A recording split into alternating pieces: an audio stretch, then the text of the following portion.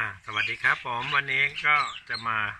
ให้ดูวิธีการเคาะกะลามะพร้าวนะครับ เคาะยังไงให้มันเป็นเส้นตรงแนวยาวครึ่งลูกตลอดนะครับ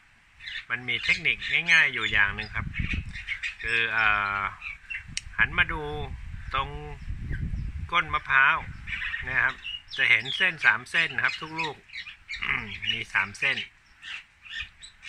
การที่เราจะเคาะ โป๊ะเดียวเนี่ยให้มันล้าวลงไปเนี่ยเป็นเส้นตรงครับ เราจะเลือกเส้นที่มัน ไม่เหมือนไม่เหมือนใครเนี่ยชี้มาด้านนี้เราลองเราลองดูดีๆนะครับสองเส้นนี้มันจะแบ่งแบบนี้ มีอยู่เส้นเดียวนะครับที่มัน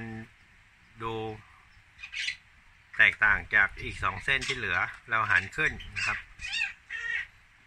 จุดที่เราจะต้องเคาะก็คือเส้นนี้นะครับ ดูว่าใช่ไม่ใช่โอ้เดียว มันจะล้าวลงไปอย่างนี้เลยนะครับ เป็นเส้นตรงที่สุดนะครับ ถ้าเกิดไปเคาะด้านอื่น มันจะไม่เป็นอย่างนี้นะ ถ้าเราเลือกถูกเส้นเนี่ย มันจะล้าวลงไปเนี่ยครับ ตรงเลยครับ ง่ายๆแบบนี้แหละครับ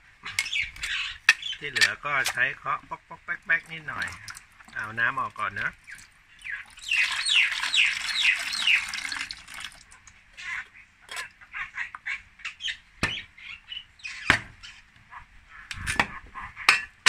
เรียบร้อย ครับสวยงาม ง่ายๆครับ ก็ฝากเอาไว้สำหรับคนที่ไม่เคยทำเนาะแล้วพบกันใหม่คลิปต่อไปครับ สวัสดีครับ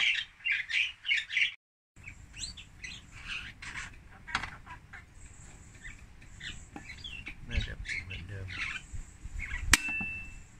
แล้ว